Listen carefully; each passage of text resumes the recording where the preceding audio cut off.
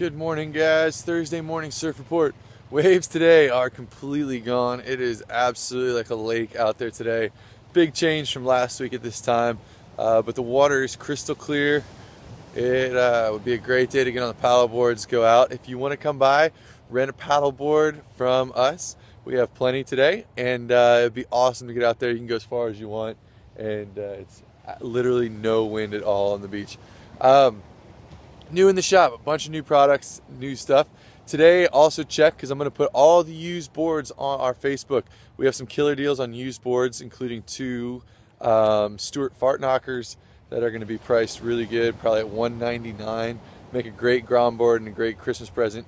Um, come check those out, and uh, we got a lot of other new products in the shop as well. So come see us, and I uh, hope you guys have a great Christmas coming up soon.